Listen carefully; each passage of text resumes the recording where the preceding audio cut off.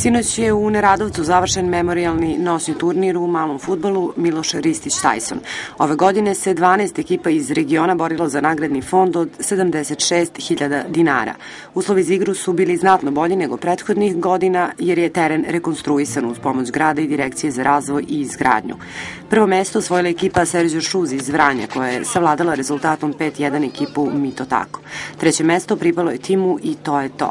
Za najboljeg igrača turnira proglašen je Miloš Trajković, dok je najbolji čuvar mreže Zvezdan Stojković. Organizatori petog po redu turnira su lokalna samouprava i mesna zajednica Neradovac.